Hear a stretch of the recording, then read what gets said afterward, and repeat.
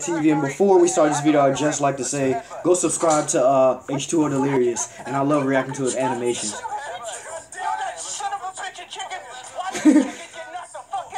Ooh! Oh, it's getting violent real quick. The video just started. Ooh! Oh, you gonna knock this jaw out. Endangered chicken. Call the chicken police. Oh yeah, also I would like to tell you guys, expect some uh, Dragon Ball Super reactions later on the day. Wait a minute, what is going on right now? Kind of look weird. what the fuck?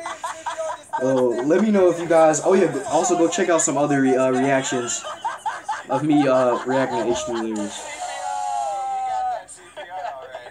He reminds me of Yoshi. There might be. There might be playing Yoshi. Bro, the guy, the character is carrying uh, what you call it. He reminds me of uh, from Tom and Jerry a little bit. What's going on? Yo, these guys are dying out loud. I think what he does is put, I think this is actually real footage, but he put it into an animation. Let me know in the comment section below.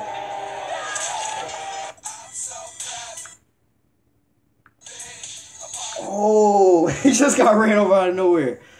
Guys, that'll basically be it for this video. Uh, let me know if you guys want uh, me to react to uh, more of him. Uh, once again, Delirious Animated, Save the Chicken. Uh, uh, what can I say? Uh, H2O Delirious always coming out with a good animations, man. I had to react to some uh, animation by H2O Delirious because I love reacting to his channel. So, and you guys uh, request it sometimes and want me to react to it. So, road to 1,000 subscribers. Like, share. Don't forget to become a new today by subscribing. I'll see you in the next video. Yeah.